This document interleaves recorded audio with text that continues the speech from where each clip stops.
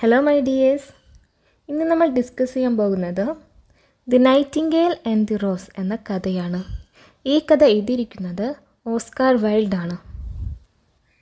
കഥയിലേക്ക് പോകുന്നതിന് മുമ്പ് നമുക്ക് ഓസ്കാർ വൈൽഡിനെ കുറിച്ച് നോക്കാം.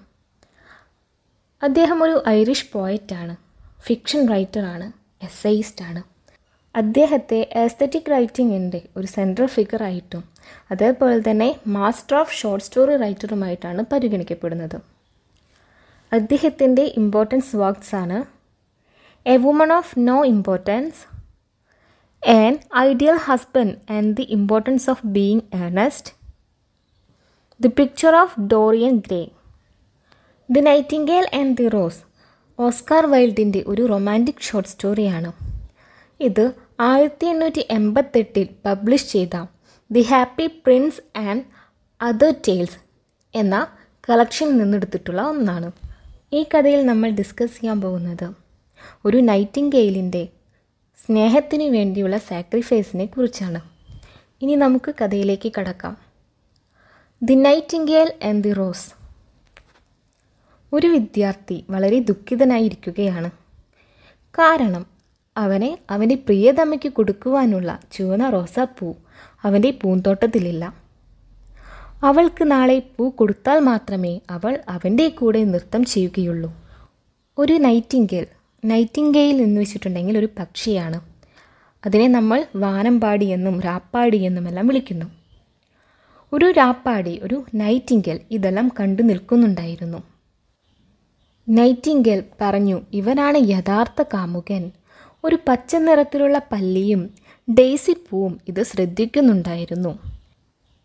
നൈറ്റിംഗേൽ അവരോട് പറഞ്ഞു അവൻ ചുവന്ന റോസ് ലഭിക്കാത്തതുകൊണ്ടാണ് കരയുന്നത്. നൈറ്റിംഗേലിന് അവനോട് സഹതാപം തോന്നി. കാരണം നൈറ്റിംഗേലിന് മനസ്സിലായി ആ ഒരു ആൺകുട്ടിയുടെ ആ ഒരു സ്റ്റുഡന്റിന്റെ വിഷമത്തെക്കുറിച്ച്. നൈറ്റിംഗേൽ കുറച്ചു നേരം ആ ഓക്ട്രിയുടെ മുകളിൽ മിണ്ടാതെ ഇരുന്നു എന്നിട്ട് സ്നേഹത്തെക്കുറിച്ച് ചിന്തിച്ചു. നൈറ്റിംഗേൽ അവനൊരു റോസാപ്പൂ കൊണ്ടു കൊടുക്കുവാൻ വേണ്ടി തീരുമാനിച്ചു. പെട്ടെന്ന് തന്നെ നൈറ്റിംഗേൽ തന്റെ ബ്രൗൺ നിറമുള്ള ചിറകുകൾ വിടർത്തിക്കൊണ്ട് പറക്കുവാൻ തയ്യാറായി.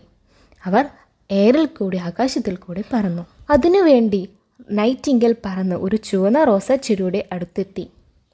റോസാ മരത്തോട് ഒരു പൂവിനായി അഭ്യർത്ഥിച്ചു.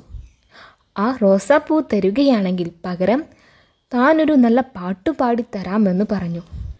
പക്ഷേ ആ റോസാ ചെടിയിലെ പൂക്കൾ വെള്ള നിറമുള്ളവയായിരുന്നു. ആ റോസാ ചെടി രാപ്പാടിയെ സൂര്യഘടികാരത്തിനടുത്ത് വളരുന്ന തന്റെ സഹോദരന്റെ അടുത്തേക്ക് വിട്ടു. രാപ്പാടി പറന്ന് ആ സൂര്യഘടികാരത്തിനടുത്ത് വളരുന്ന റോസാ ചെടിയുടെ അടുത്തേക്ക് പോയി. പക്ഷേ ആ റോസാ ചെടിയിൽ നിറയെ മഞ്ഞ നിറമുള്ള പൂവുകളായിരുന്നു അത് രാപ്പാടിയോട് അടുത്ത ചെടിയിലേക്ക് പോവാൻ പറഞ്ഞു. രാപ്പാടി വീണ്ടും പറന്ന് ആ വിദ്യാർത്ഥിയുടെ വീട്ടുജലലിനടിയിൽ വളരുന്ന റോസാ ചെടിയുടെ സമീപത്തെത്തി. രാപ്പാടി പൂവിനായി ആ ചെടിയോട് അഭ്യർത്ഥിച്ചു. റോസാ ചെടി നൈറ്റിംഗേലിനോട് പറഞ്ഞു എന്റെ പൂക്കൾ വളരെ ചുവന്നതാണ്. പക്ഷേ മഞ്ഞുകാലം എന്റെ ഞരമ്പുകളെ മരവിപ്പിച്ചു. മഞ്ഞ് എന്റെ മുകുളങ്ങളെ നുള്ളിയെടുത്തു. കൊടുങ്കാറ്റ് എന്റെ ചില്ലകൾ ഒടിച്ചു കളഞ്ഞു. ഈ വർഷം എനിക്ക് പൂക്കളൊന്നും തരാൻ കഴിയില്ല. റാപ്പാട് ചോദിച്ചു ചുവന്ന പൂ ലഭിക്കാൻ എന്തെങ്കിലും മാർഗമുണ്ടോ എന്ന്? ആ ചെടി റാപ്പാടിയോട് പറഞ്ഞു ഒരു മാർഗമുണ്ട്. നിലാവുള്ളപ്പോൾ റാപ്പാടി തന്റെ ഹൃദയരക്തം കൊണ്ട് അതുണ്ടാക്കാമെന്ന്. റാപ്പാടിയുടെ നെഞ്ച് മുള്ളിനോട് ചേർത്ത് വെച്ച് മുള്ള ഹൃദയത്തിലേക്ക് തുളച്ചു കയറ്റി. രാപ്പാടിയുടെ ജീവരക്തം ചെടിയുടെ സിരകളിലേക്ക് നൽകണമെന്ന്. നൈറ്റിങ്കിൽ അതിനുവേണ്ടി തയ്യാറായി.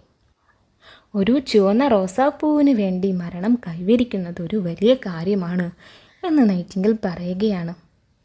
എന്നിട്ട് അത് പറന്ന് ആ വിദ്യാർത്ഥിയുടെ അടുത്തേക്ക് പോയി. രാപ്പാടി അത് ആ വിദ്യാർത്ഥിയോട് പറഞ്ഞു. അവൻ എഴുന്നേറ്റ് മുഖമുയർത്തി. പക്ഷേ രാപ്പാടി പറഞ്ഞത് അവന് ശരിയായി മനസ്സിലായില്ല. എന്നാൽ ഓക്കുമരത്തിന് അതെല്ലാം മനസ്സിലായി. അത് വളരെ ദുഃഖത്തിലായി. രാപ്പാടി അവസാനമായി ഓക്കുമരത്തിനായി പാട്ടുപാടി. എന്നിട്ട് ചുവന്ന റോസാ ചെടിയുടെ അടുത്തേക്ക് പോയി. നൈറ്റിങ്കിൽ ആ റോസാ ചെടിയുടെ മുകളിൽ ഇരുന്നു തന്റെ ഹൃദയം മുള്ളിനോട് ചേർത്ത് വെച്ചുകൊണ്ട്.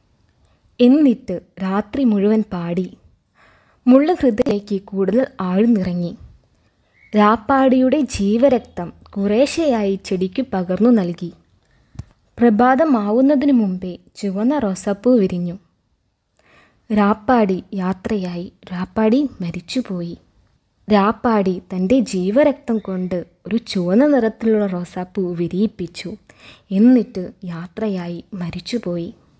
ആ ചുവന്ന നിറത്തിലുള്ള റോസാപ്പൂ കണ്ടപ്പോൾ ആ വിദ്യാർത്ഥിക്ക് വളരെ സന്തോഷമായി. അവൻ അതും കൊണ്ട് തന്റെ പ്രണയിനിയായ പ്രൊഫസറുടെ മകളുടെ അടുത്തേക്ക് ചെന്നു. അവൻ അവളോട് അവന്റെ കൂടെ നൃത്തം ചെയ്യാൻ പറഞ്ഞു. പക്ഷേ അവൾ പറഞ്ഞു ഇത് അവളുടെ വസ്ത്രത്തിന് ചേരില്ല.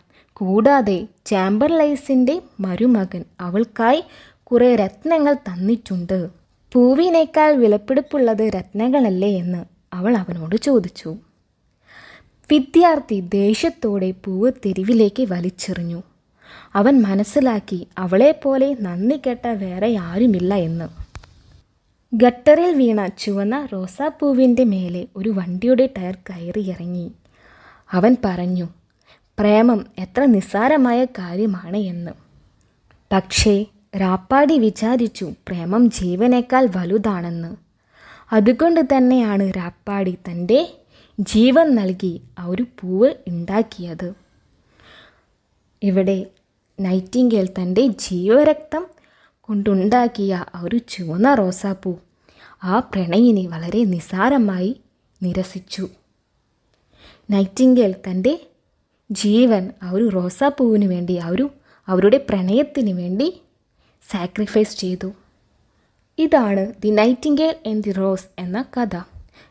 നൈറ്റിംഗേലിന്റെ സാക്രിഫൈസിന്റെ കഥ.